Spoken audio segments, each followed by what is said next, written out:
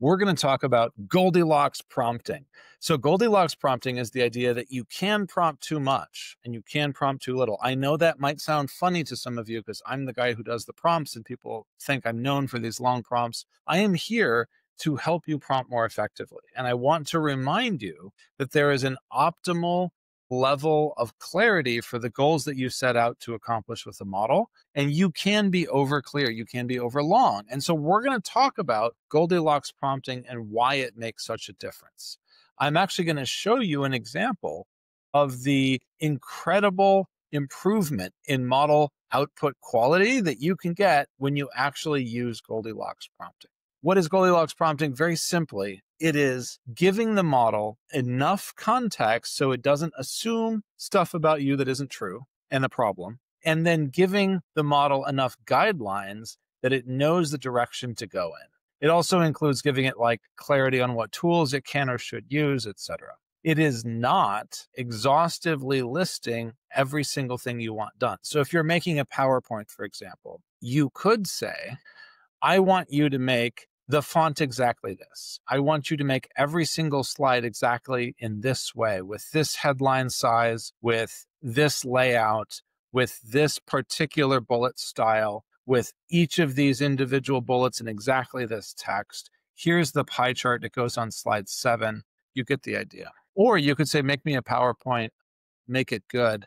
The board's going to be looking at it. We would probably not do that one but we might be tempted to do the make it specific. And one of the things that I've been thinking about a lot as I've wrestled with prompting and context engineering over the past couple of months, call it longer than that, really. There is an optimal level of detail and there's a trade off involved. If you want to give the model as much clarity as I described, where you're describing every minute detail, the model will go there, especially the newer ones. It will increase the token burn, so you're more likely to run into memory issues. It will reduce the creativity because you're not engaging the creative circuits, for lack of a better term, of your model. So it's a trade off. You have to decide do you want to be so specific that the model is going to burn through a lot of context and follow your exact design and maybe that's not what you want, maybe it is. Or do you want to back off and give a more general purpose ask that allows the model to be a little more creative and might be more token efficient?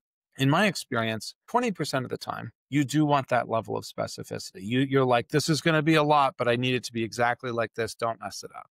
And about 80% of the time, you want a prompt at the right altitude. You want a Goldilocks prompt. That is actually tougher than it looks it's really, really tough to prompt at the right altitude because it's so tempting to either over describe or under describe. I want to give you some tools to help with that. And I think one of the things I can do to help is just to give you a visual example of what good looks like in terms of a prompt. This is directly from Anthropic. I didn't make this one up. They put it out in public on their context engineering blog. I thought it was really helpful. I'll just pop it up and then we'll keep going and I'll get to the demo I created shortly. All right, here we are.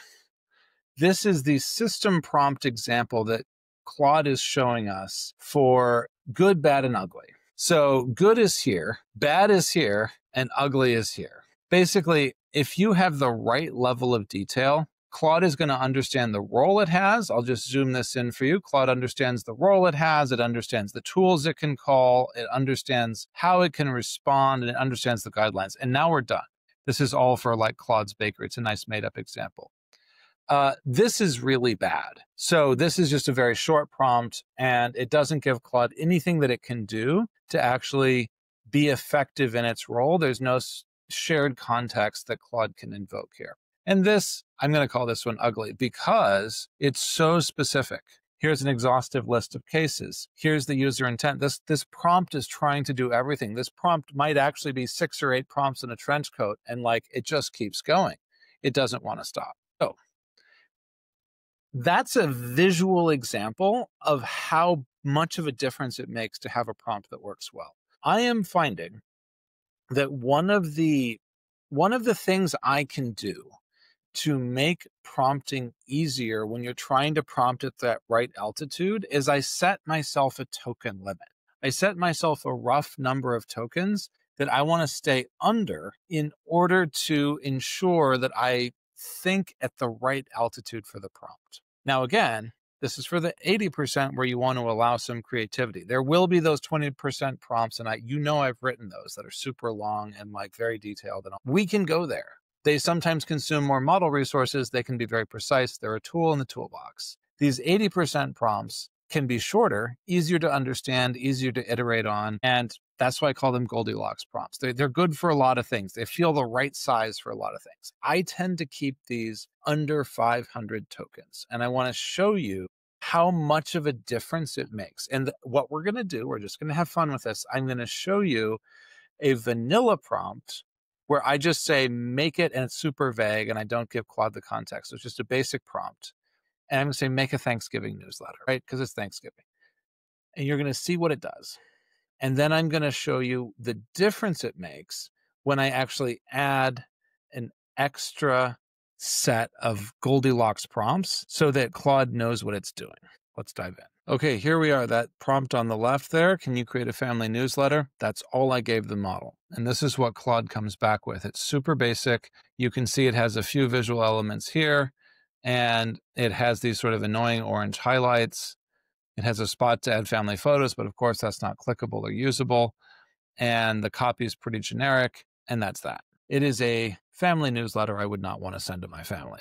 But what if we choose to add a more effective prompt? All right, here we are looking at the exact same prompt, except I've added some Goldilocks prompting. In fact, this is a little bit of an advanced technique. I have stacked up some Goldilocks prompts. The advantage of having some shorter ones is that you can be more effective. So I have a layout prompt here that focuses on non-annoying layouts and specifies those. I have a color prompt that talks about the kinds of colors that would convey trust or be modern or whatever. I also have a font prompt. All of these are important for getting this into better shape. If we move over here, we see the font has been chosen carefully. We see the impact of the layout. We see the colors are chosen much more carefully.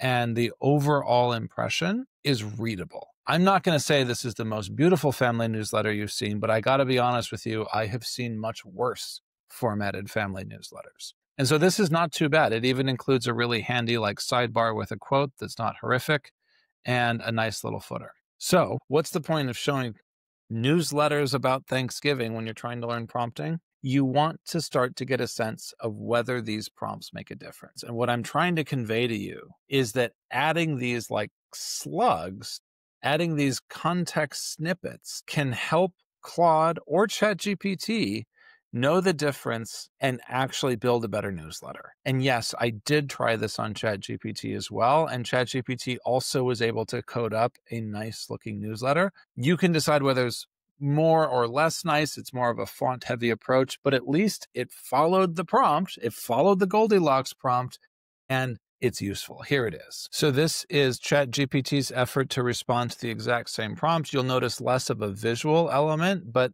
they absolutely like you see the investment in the fonts. You see some really fun fonts here. You see the use of that layout piece.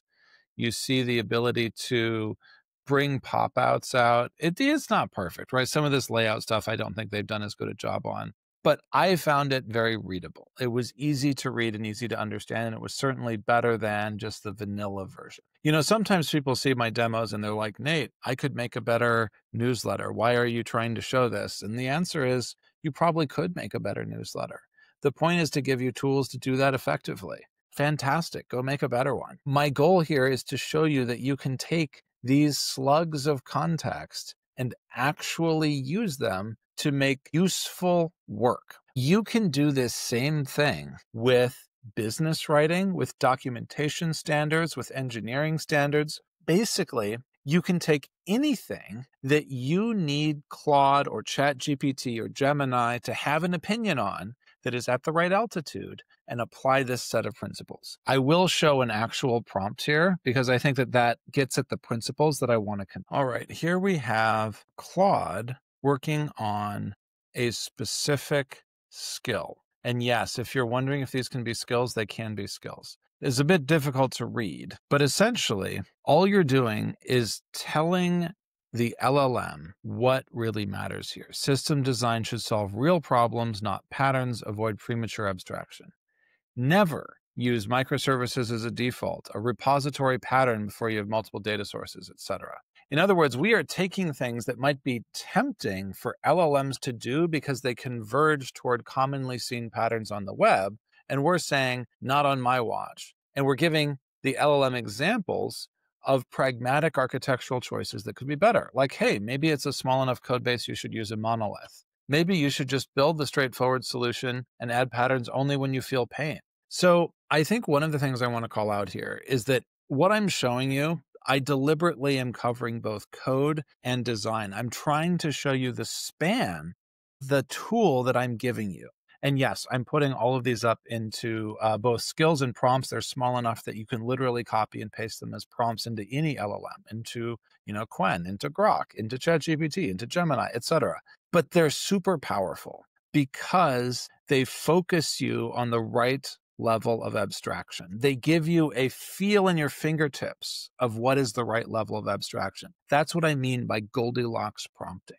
You should start to get a feel for what is the right sized prompt for that 80% of use cases where you want to allow the LLM some creativity and judgment to solve the problem. I think that's underprompted. I think we often try to tell people to use their best judgment for that. I want to give you a sense that Goldilocks prompting is a learnable skill. It's also a shareable skill. I'm going to share a bunch of these prompts with you so you can start to build them, modify them. If you don't like my examples, use different examples. But if you keep it to relatively the same length, if you use a similar structure, you're going to end up in a place where you have guidelines, useful context, a scaffold, if you will, for large language models to use, but not so much that it is a brittle prompt that often fails. And that's what I want you to have. I want you to have a toolkit that feels like a well worn chisel in the woodshed and a well worn hammer, something you can use every day